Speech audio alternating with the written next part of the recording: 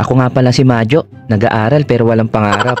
Good morning, good morning mga kamadyo. At ngayong araw nga ay samahan niyo ako. Naimbitahan pala tayo sa Dole Ilagan. Kung saan ang pag-ibig ko sa kanya doon ko na lang ilalaan. Patanong kita kamadyo, may napaglaanan ka na ba ng pag-ibig mo? Kung wala pa nga kamadyo, pwedeng pwede naman ako. Kapal ng mukha mo! Anyway, nandito na nga pala ako sa mansion ko. Dito ko nga pala ititira ang mapapangasawa ko. Yung three wheels ko nabawasan ng isang gulong. Alam mo para kang gulong, pinaikot-ikot ka lang niya. Pinaikot-ikot Oh, bakit may na-extra na naman sa video ko?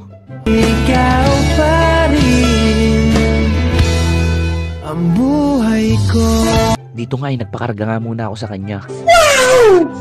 Ikaw ka Madyo, gusto mo bang kargahan din kita? 2,000 years later. Pag sinueswerte ka nga naman, oh, naabutan pa kami ng malakas na hangin niya. Ay, este, malakas na ulan pala. Gago! Dito nga pala kami sa Silawit, Kawayan City, Isabela. Dito nga muna kami magpapatila ng ulan. Heto nga pala ang menu nila mga kamadyo. Serving pa lang mukhang masarap at nakakabusog ng husto. Masarap din kaya yung nagse-serve dito.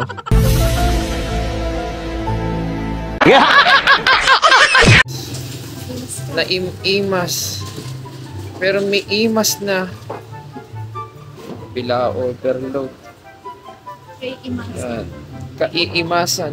Ah, RH Pansit Batirit Patong. Baka naman. Uh, will you please repeat it? RH Pansit Batirit Patong. Baka naman. Dito nga ay kinain niya na ako. Ay, este, kumain pala kami. Dahil nga sa sobrang sarap ko, mainit pala. Kaya binalik ko. Gunggong! Takbo ko 20, tapos yung tambutyo, 87.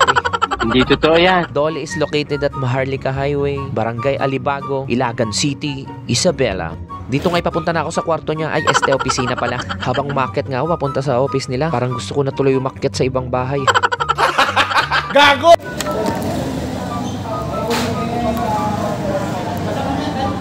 O siya, sige mga kamadyo, hanggang dito na lang. Babalitaan ko na lang kayo kung anong status ng complaint ko.